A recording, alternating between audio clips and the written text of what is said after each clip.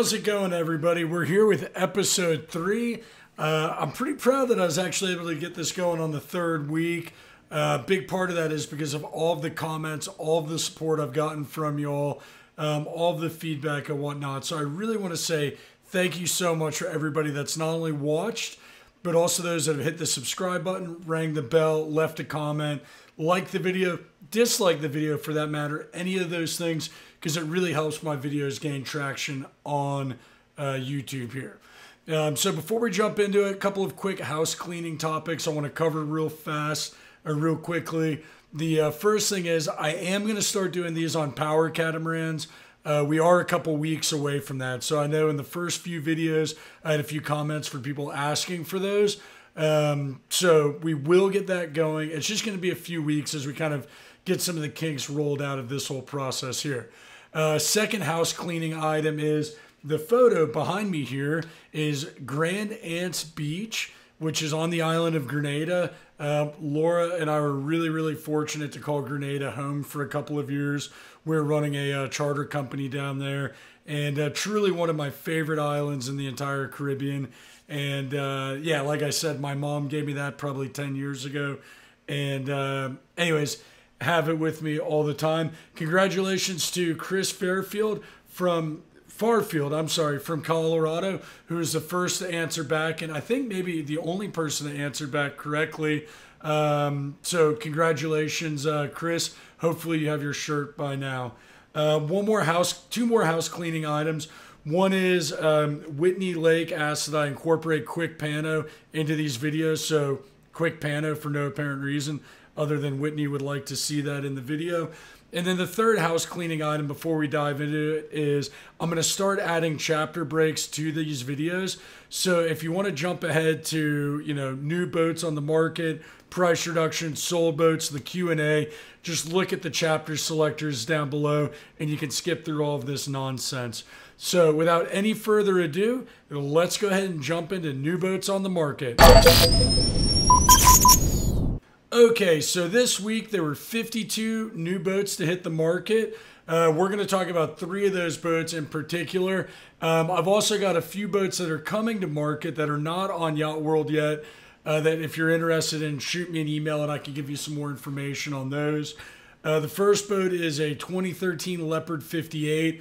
I know I talked about that last week. Uh, we just haven't gotten it on the market yet. It should be on probably today or tomorrow. Um, the second boat I want to talk about is a 2017 Fountaine Pajot Victoria 67. Um, kind of a unique boat. They didn't build a lot of those 67s. Uh, super cool boat if you're looking for something to do crewed yacht charter with, um, or just you know do a big big uh, boat around the world kind of cruise. Uh, and then the third boat I want to talk about is a 2018 Lagoon 450 owners version the bulkheads have already been inspected. I know that's always the first thing people talk about when it's a Lagoon 450. These bulkheads have already been inspected. They checked out clear.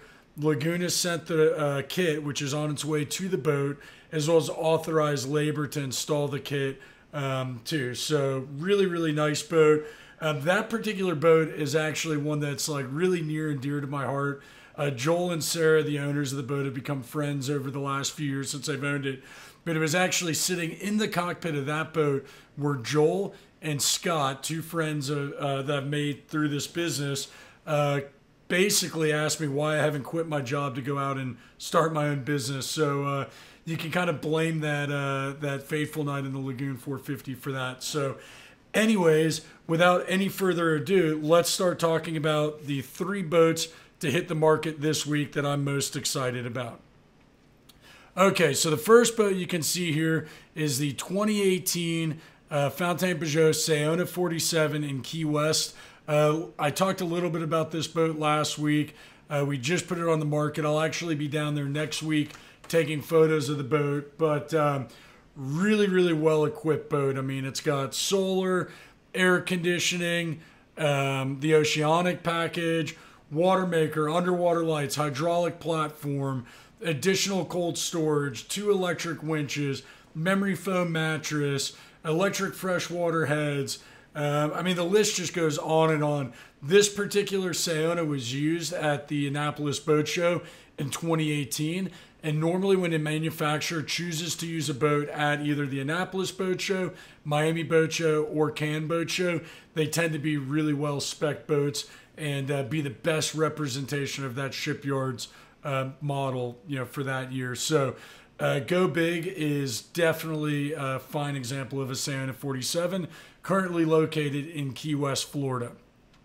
The uh, second boat I want to talk about that just came to market is a 2018 Lagoon 450. It's not the one that I'm putting on the market later this week. Uh, this is actually a four cabin boat, uh, four head.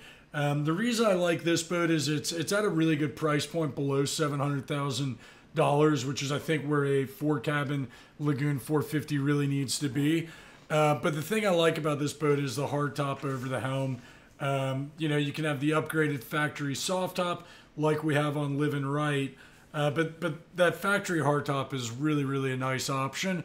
Uh, but the boat's got generator, air, upgraded Yanmar, extra cold storage, um, you know, tender outboard, pretty much everything you need to go cruising on the boat. You know, all electric winches, uh, cushion sets, solar panels. Um, yeah, just a, just a well laid out, well thought out, well equipped boat.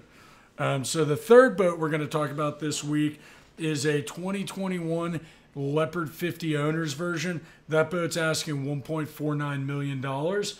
The reason I like this boat is it's um, not only exceptionally well equipped with um, you know bowsprit, code zero, a very comprehensive electronics package, um, you know solar, uh, lithium. I mean the list goes on and on and on. But this is one of the first boats that I've seen come to market, or one of the first Leopard 40s that I've seen where it actually has. And I'm gonna I'm fast forwarding through the photos here. Probably should have started there. It has the um, uh, storeroom port forward instead of a cabin, which really is a nice utilization of space. You still have three really nice guest staterooms, uh, but you've also got a workshop forward. I mean, you can see this boat has got a full enclosure, bimini top over the fly bridge. I mean, the list just goes on and on and on with this boat, but let's see if I can find what I'm looking for here.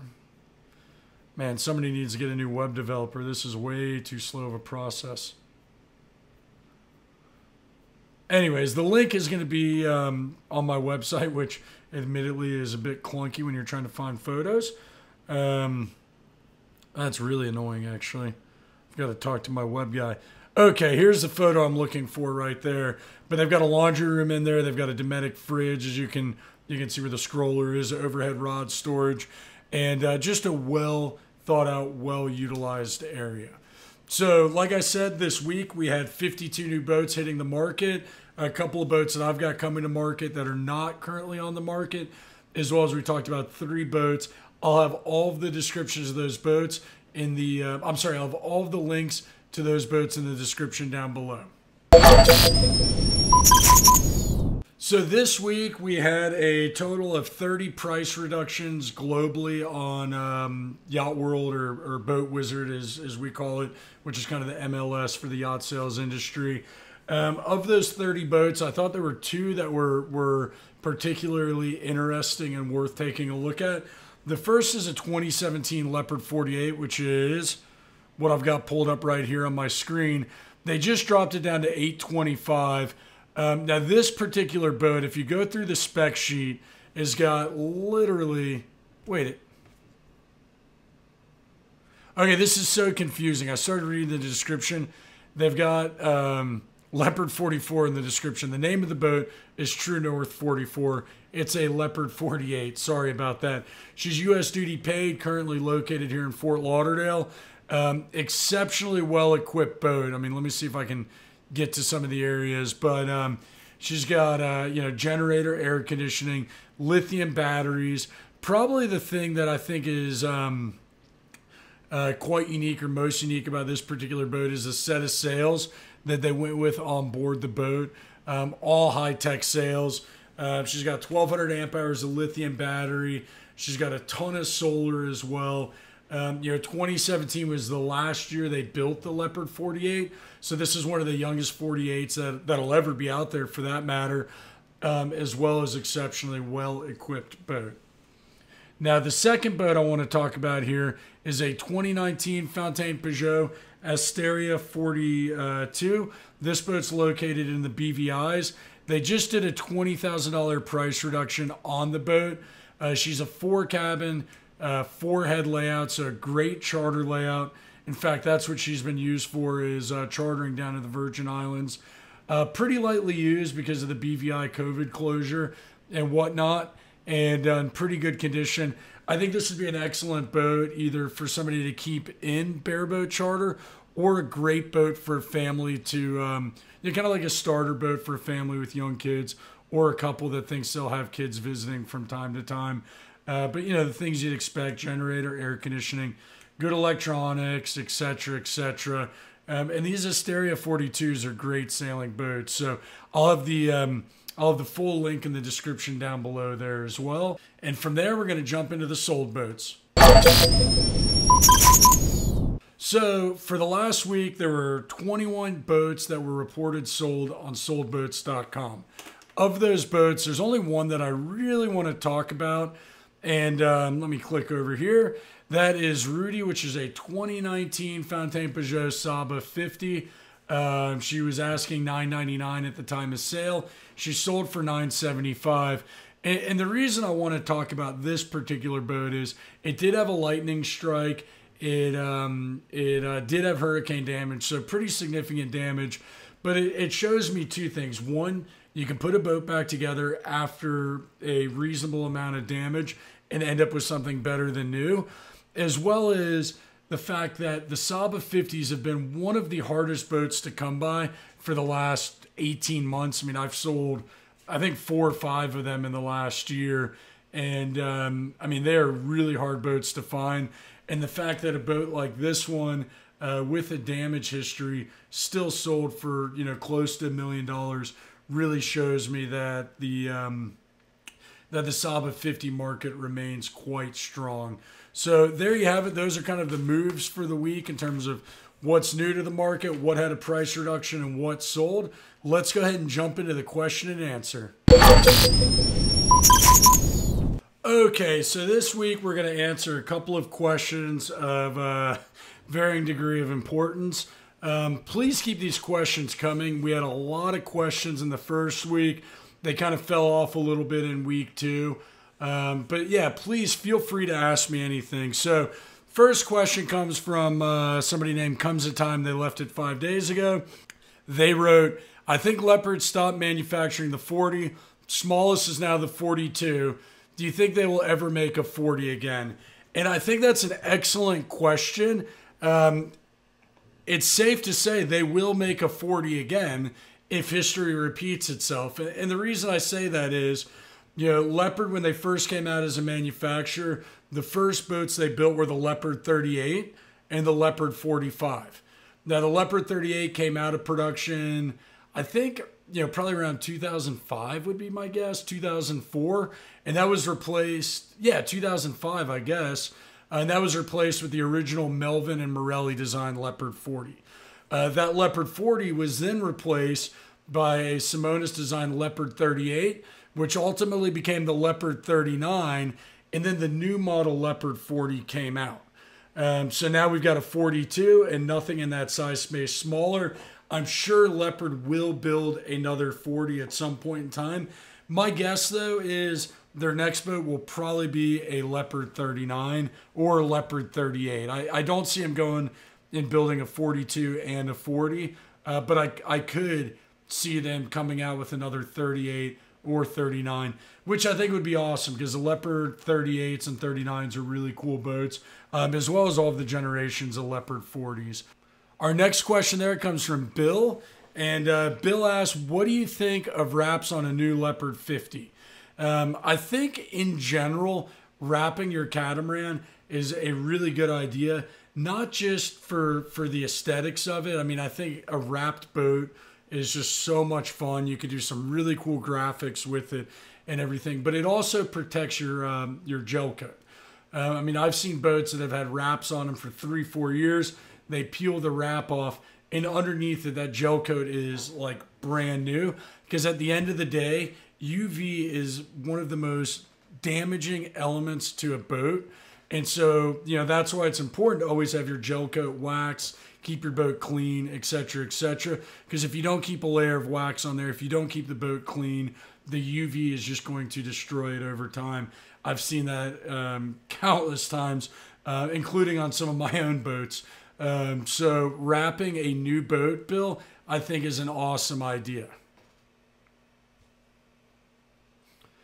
And then the third question comes from David, who's the proud new owner of a Leopard 39 that he and his wife Sandy just sailed back to their home on the west coast of Florida. But David asks, I like the format question. What is your favorite cigar?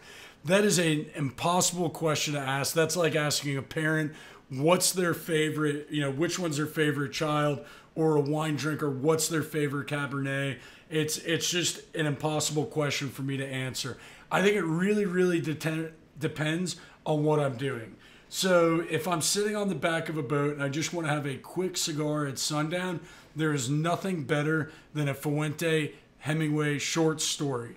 Um, I mean, that's a cigar I grew up around. My dad smoked those. My grandfather smoked those. I mean, one of my favorite go-to cigars. Um, if I'm doing a project on a boat or you know doing yard work around my backyard, I like a, a um, like a Churchill size cigar, but something that's not too heavy. And so for that, I'll usually go with like a Perdomo Sun-Grown Habano, uh, which is which is a really really just mild cigar, easy to smoke, has a really really long burn time. And then, um, you know, if I'm, oh, man, this is such a tough question, David.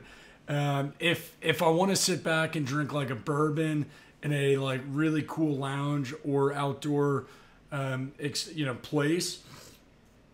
I mean, that's tough. That's probably got to be between um, the Plasencia, which is out of Esteli, Nicaragua, or the the Fuente Fuente Opus X.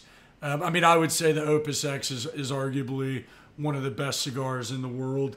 Um, I don't smoke Cuban cigars that often. It's not because I don't have access to them. I just personally believe that Dominican cigars and Nicaraguan cigars are better than Cuban cigars. Not to mention, I'm from Tampa, Florida, uh, which has a huge connection with the um, cigar industry as well as the Cuban American population. Um, in fact, a lot of kids that I uh, grew up with went to high school with their families fled Cuba uh, during the Cuban Revolution, and uh, their families lost everything. So I, I have a really, really hard time supporting Cuban tobacco. Uh, because of that. So, anyways, those are a couple of questions. I hope you guys enjoyed this video. Please keep the comments coming. Please keep the feedback coming. I'm going to have links to all of the boats in the description down below. If you have any questions, leave a comment down below. Shoot me an email. And as always, if you like what I have to say, don't forget to hit the subscribe button. Thanks and have a good day.